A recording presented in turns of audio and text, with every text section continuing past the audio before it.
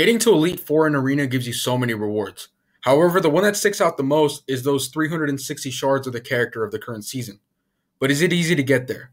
Well, that's really up to how long you're willing to play for. I assume most of you don't want to sit around fighting for hours just to get some shards, so I decided to come up with a couple of tips that can help you guys out. Um, these tips came basically from experience from me playing the game. So the first tip is to look at the leaderboards.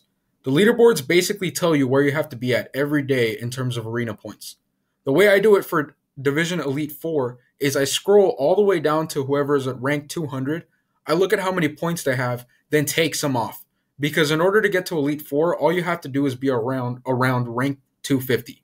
So if rank 200 has 8.5 million points, just as an example, I'll take off around 500,000 points, and that'll be my goal. Keep in mind that you normally want to place rank 200 just to be safe, but rank 250 is the bare minimum. For the next tip, let's look at how many teams I use. I burn through about seven teams in Arena if I'm trying to get to Elite Four, but you don't have to. I do this just in case I can't play one day or I don't feel like it. Um, also, my teams have a low threat, which means I get low rewards compared to higher threat teams. The reason why my teams have a, have a lower threat is because I prefer to have higher attack teams for raids. But the game gives you more threat if you have a higher uh, health if you have higher health teams. However, because my team's overkill in arena, that means if I wanted to get higher arena points, all I'd have to do is reduce their attack by a little bit and add more health. This way I keep my damage, but I also get to keep oh sorry. This way I get to keep my damage, but I also get to get a higher threat. This also means that if I that if I did it this way, I get to play less since I'm getting more more points per fight, which saves time. Uh, one final tip is to use more characters than just the ones that are good on raids. An example is Atlantean Armored Aquaman. He does so many things, like armor piercing, heal, power drain, and dot damage. Although he isn't good on raids, he is a beast in arena.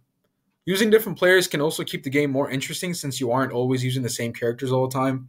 Um, I don't know if you guys haven't noticed, but if you go like on YouTube, everyone who uses raids teams like they're all the same. They're all Silver Banshee, Aquaman, or King of Atlantis Aquaman, um, the Last Laugh Joker. Everyone uses the same characters. Arena is really a place where you get to kind of diversify your team and have a little bit more fun. Uh, that's the way I treat it. And also, since you're grinding more in arena, you want to have as much fun there because it's gonna it's gonna be the game mode that takes you the longest.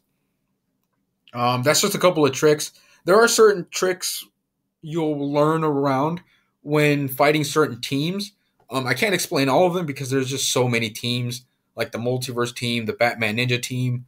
Um, so yeah, you you will just have to like, according to whatever characters you use, you're just going to have to find your way around it. And that's kind of the fun of the game because it's kind of like a chess match trying to find the best moves. Uh, but, anyways, I hope this helped you guys out and I hope you have a good day.